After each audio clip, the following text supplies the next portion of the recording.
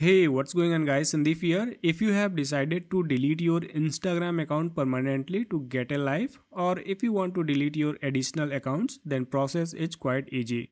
But before you delete your account, you should know that you will lose all of your Instagram data if you don't download a copy of all the data.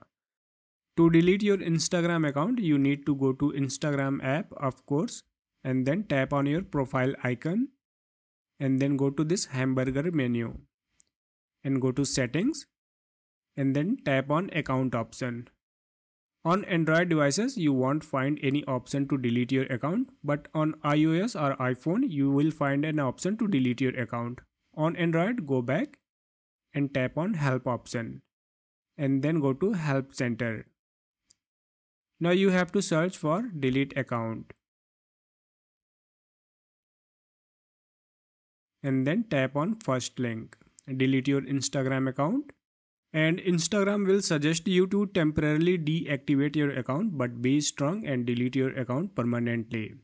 Now if you want you can download a copy of all of your Instagram data including photos and videos.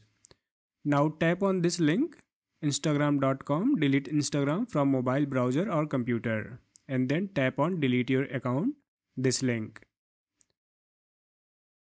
Now you will get this page. You have to select a region why you are deleting your account. Select privacy concern of course and enter your Instagram password.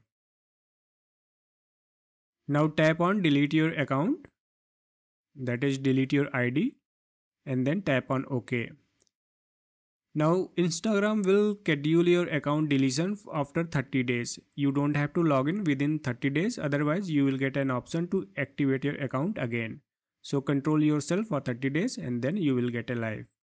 Now let's say Instagram changes their UI and the option to delete your account is hidden or you don't find that option then you can go to this deletion link. The link is in the video description. You can open this link on any device on any browser.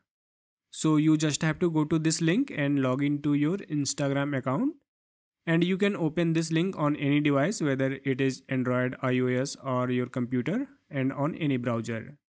Select a region why you are deleting and then put your password.